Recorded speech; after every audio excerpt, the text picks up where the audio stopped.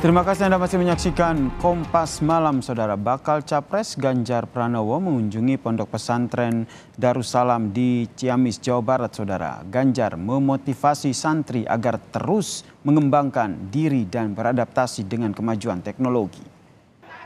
Saat silaturahmi di pondok pesantren Darussalam, Ganjar memberikan motivasi kepada para santri agar siap mandiri setelah lulus dari pesantren. Ganjar mengajak para santri untuk terus beradaptasi dengan kemajuan dunia digital.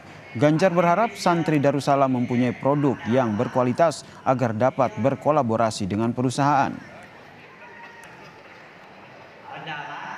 Bisa lihat pengetahuan anak-anak cukup tinggi, termasuk memahami dunia digital ya.